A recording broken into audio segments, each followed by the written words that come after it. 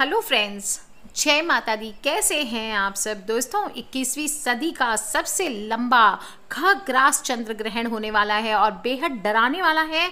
आप सभी को मैं बता दूँ कि खगोल शास्त्रियों की अगर माने तो 27 जुलाई को इक्कीसवीं सदी का सबसे लंबा खग्रास चंद्र ग्रहण होगा। इसी ग्रहण पर बहुत ही खौफजदा होने वाली बातें हैं, क्योंकि आषाढ़ पूर्णिमा पर 27 जुलाई की रात जो खग्रास चंद्र ग्रहण होगा, चंद्र ग्रहण शुरू होने से अंत होने तक करीब करीब चार घंटे लगने वाले हैं। और अगर आप माने तो 21वीं सदी का सबसे लंबा चंद्र ग्रहण होगा पूरे 104 साल के बाद। ये खास संयोग बन रहा है। हमारे देश भारत में सभी जगह इसको देखा जा सकेगा और ग्यारह बजकर पैंतालीस मिनट पर रात में शुरू हो जाएगा। मध्य रात्रि पूरी रहेगी और इसका मोक्ष काल सुबह सुबह तीन बजकर पचपन मिनट पर होने वाला है। और इसके प्रभाव से विनाशकारी भूकंप, सुनामी, चक्रवात, ज्वालामुखी, विस्फोट, आगजनी भूमिस्खलन आदि जैसी घटनाएँ होने के चांसेस हो सकते हैं। आपको मैं बता दूँ, इसके पहले जब 104 साल के पहले 26 जुलाई उन्नीस सौ तिरपन को सबसे लंबा चंद्र ग्रहण पड़ा था और उस दौरान ग्रीस में भीषण भूकंप आया था। ये बीसवीं सदी का सबसे लंबा चंद्र ग्रहण था। Bharat, Bangladesh, Myanmar, China, Taiwan, संयुक्त राज्य अमेरिका और हवाई द्वीप, Mexico, Bahamas Mauritania, Mali, Algeria, Niger, Libya, Chad, मिस्र, सऊदी अरब, यूएई और ओमन देश में 27 जुलाई को पड़ने वाला ये चंद्र ग्रहण का बुरा प्रभाव हो सकता है। सभी जगह ग्रहण से भूकंप, चक्रवात, ज्वालामुखी, सुनामी आदि की आशंका के अलावा उपग्रहों और विमानों के गड़बड़ाने की आशंका बताई जा रही है। ये हो सकता है विनाशकारी भौगोलिक घटनाओं का कारक, इसलिए आप सभी से निवेदन है कि सावधानी से रहें अपने अपने घरों के अंदर रहें सावधानी पूर्वक रहें और साथ ही साथ जो उपाय मैं बता रही हूँ, वो सभी आपको ज़रूर करने चाहिए। 104 साल के बाद ऐसा संयोग बन रहा है जिसमें थोड़े से भी आप उपाय करते हैं या सावधानी रखते हैं तो आपका जीवन आगे बहुत ही खूबसूरत हो सकता है।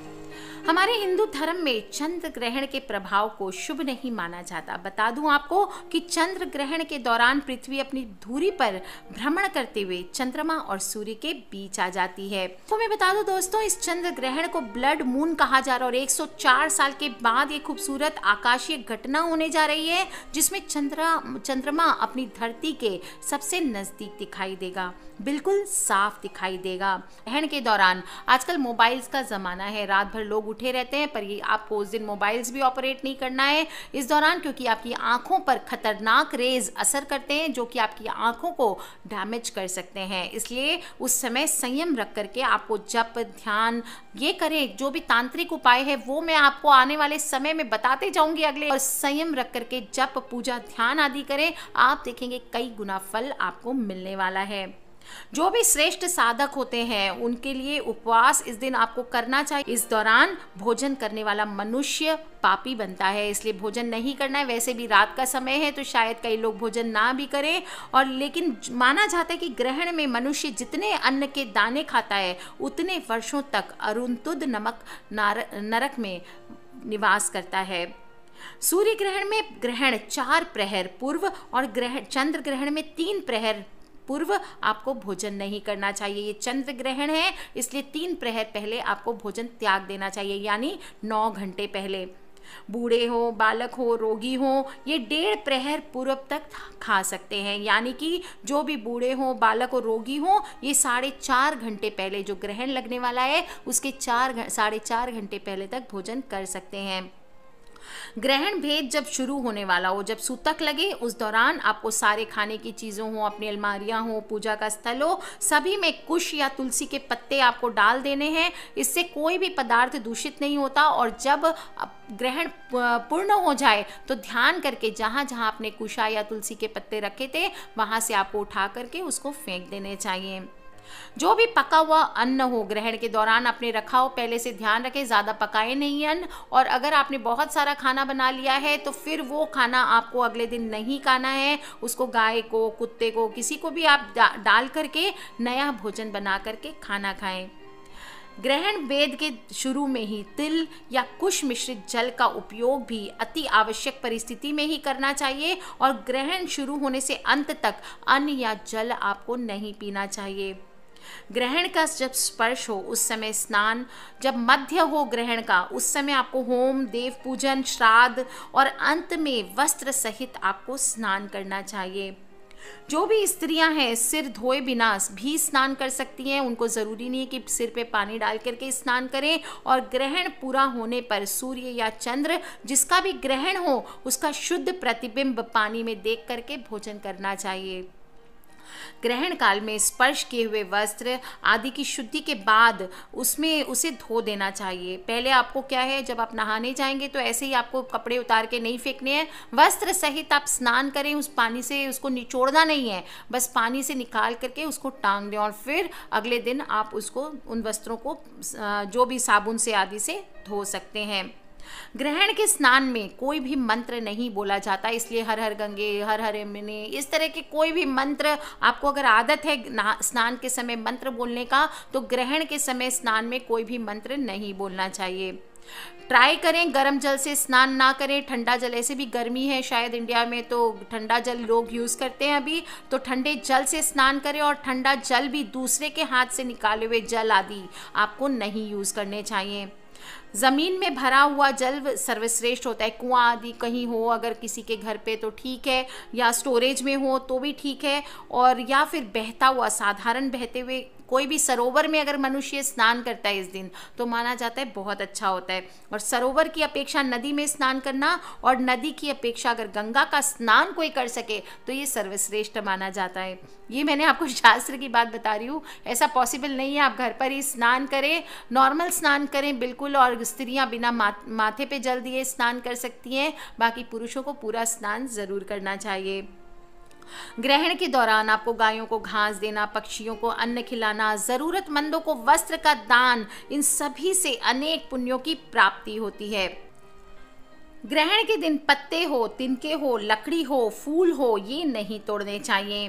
बाल और वस्त्र नहीं निचोड़ने चाहिए, दंत मंजन नहीं करना चाहिए, सुई और नुकीली चीज़ों का इस्तेमाल आपको नहीं करना चाहिए। ग्रहण के समय ताला खोलना, सोना मल मूत्र का त्याग करना पति पत्नी का संग करना, भोजन करना, ये सभी कार्य वर्जित माने गए हैं।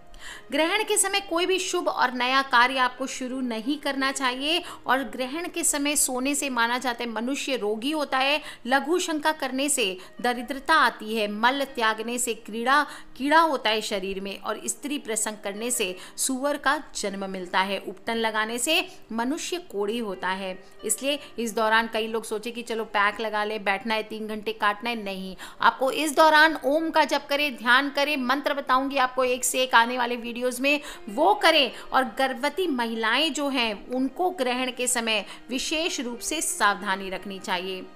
तीन दिन या एक दिन उपवास करके स्नान, दान आदि का ग्रहण में महाफल की प्राप्ति होती है, किंतु संतान युग जो गृहस्थ होते हैं, उनके लिए इस तरह का व्रत करना नामुमकिन होता है। इसलिए उस दिन कम से कम सूतक काल के बाद आपको उपवास रखना चाहिए। भगवान वेद व्यास जी ने परम हितकारी वचन कहे हैं। सामान्य दिन से चंद्र ग्रहण में किया गया पुण्य कर्म चाहे आप जप करें ध्यान करें ध्यान करें कोई भी चीज़ करें उसका एक लाख गुना और द, सूर्य ग्रहण अगर हो जाए तो उसमें दस लाख गुना फलदायी माना गया है। गंगा जल अगर यदि आपके पास में हो तो चंद्र ग्रहण में एक करोड़ गुना और सूर्य ग्रहण में दस करोड़ गुना फलदायी होता है। उसमें स्नान करना आपके लिए ज़बरदस्त मैटर करता है। ग्रहण के समय गुरु मंत्र, इष्ट मंत्र, भगवत नाम का जप अवश्य करें। ना करने से मंत्र को मलिनता प्राप्त होती है। अगर आपके इष्ट देव हैं और आप गुरु मंत्र का जप करते हैं तो आपको रोज करना है गुरु मंत्र का जप। ग्रहण के अवसर पर दूसरे का अन्न नहीं खाना चाहिए, वरना बारह वर्षों का एकत्र किया हुआ पुण्य आपका नष्ट हो जाता है। तो पुराण में बताया गया है कि भूकंप और ग्रहण के अवसर पर पृथ्वी को नहीं खोदना चाहिए। देवी भागवत में बताया गया है कि अस्त के समय सूर्य और चंद्रमा को रोग, भय के कारण नहीं देखना चाहिए। चंद्र ग्रहण लोगों पर असर डालता है इस वजह से। जिस समय चंद्र ग्रहण लगा हुआ हो, इस समय प्रेग्नेंट महिलाओं को घर से बाहर बिल्कुल नहीं निकलना चाहिए। खग्रास चंद्र ग्रहण है, यानी कि पूर्ण चंद्र ग्रहण है, और हिंदू शास्त्रों के अनुसार ग्रहण किसी भी रूप में शुभ नहीं माना जाता, खासकर गर्भवती महिलाओं के लिए, और इसका प्रभाव 108 दिनों तक रहता है, जिससे गर्भवती महिला के शिशु को हानि हो सकती है। सूतक काल को भी शुभ नहीं माना जाता। इस दिन गर्भवती महिलाओं को घर में रह करके ओम क्षीर पुत्राय विदमहे, अमृत तत्वाय धीमहि, तन्नो चंद्र प्रचोदयात। इस मंत्र का जप करना चाहिए। इससे ग्रहण का नकारात्मक प्रभाव महिला पर और शिशु पर नहीं पड़ता, या कम से कम कम हो जाता है। इस दिन सबसे बेस्ट है, महिलाओं को आसन मार के अपनी गोद में एक छोटा सा नारियल रख लें। सोना सोना भी वर्जित बताया गया ट्राई करें कि सोए ना पर आप, अगर आप रोगी हैं तो आप सो सकते हैं। ग्रहण के समय कैंची के उपयोग करने की मनाही होती है। कहा जाता है कि इससे शिशु के होंठ कट जाते हैं। कई स्थानों पर मान्यता ऐसी कि ग्रहण के समय गर्भवती महिला का सोना अशुभ होता है और ग्रहण के बाद स्नान करना आवश्यक होता है। अन्यथा घर में पल रहे शिशु को बीमारी लग सकती है। इस अंधविश्वास को साबित करने के लिए कोई वैज्ञानिक प्रमाण तो उपलब्ध नहीं है मगर मगर हमारी संस्कृति में ये इतनी दृढ़ता से रचा बसा हुआ है कि जब भी ग्रहण करने वा, होने वाला हो तो गर्भस्थ शिशु को लेकर सभी को चिंता हो जाती है। हानिकारक प्रभाव को अगर माना जाए तो गर्भवती महिला सूर्य या चंद्रमा की अगर सीधी किरणों के संपर्क में आती है तो इसका असर गर्भस्थ शिशु पर ज़रूर पड़ता है। अगर परिवार आप आप या आपका परिवार गर्भस्थ शिशु पर ग्रहण के असर को लेकर चिंतित हैं तो घर के अंदर रहें, ऐसे भी रात की टाइम है, कहीं बाहर जाने की ज़रूरत नहीं है। थोड़े समय के लिए होता है ग्रहण, ऐसे में यदि आप इससे जुड़ी परंपराओं का पालन करें तो सबको मन की शांति मिलती है, इसमें कोई बात नहीं है। तो दोस्तों, ये छोटी छोटी बातें आपको ज़रूर ध्यान रखनी है। सदी का सबसे लंबा चंद्र ग्रहण है, बहुत ही खूबसूरत है। कहा जाता है, इस समय धरती पर विशेष प्रकार की रेज आती हैं, जो कि सभी को हानि पहुँचा सकती है। इसलिए ट्राई करें, घर के अंदर रहें। 104 साल के बाद ये विशेष संयोग बन रहा है। तो दोस्तों, इस दिन जप, ध्यान आदि ज़रूर करें। छोटे छोटे तांत्रिक उपाय, वशीकरण आदि मैं बताती रहूँगी। टोने, टोटके आदि बताऊँगी, अगर आप चाहें तो इस दौरान करें और फिर आप देखेंगे। ज़िंदगी में कैसे एक नया मोड़ आता है अपने सभी फ्रेंड्स फैमिली मम्मी, पापा, भाई, बहन, बच्चे, सभी लोगों से इन्हें ज़रूर शेयर करें ताकि सभी लोग सावधान हो जाएँ और आने वाले जो खूबसूरत चंद्र ग्रहण है, इसका पूरा पूरा फ़ायदा उठा सकें। कर लीजिए उपाय दोस्तों और अपने मम्मी, पापा फ्रेंड्स फैमिली भाई, बहन, बच्चे, सभी लोगों से शेयर करें और हाँ दोस्तों सब्सक्राइब करके रखें ताकि आप और मैं आने वाली वीडियोज़ के थ्रू कनेक्टेड रहें। Love you all friends take care जय माता दी। किसी भी तरह के क्वेश्चन हो प्लीज़ मुझे वीडियो के नीचे लिख के ज़रूर पूछ लें। Take care love you all जय माता दी बम बम भोलेनाथ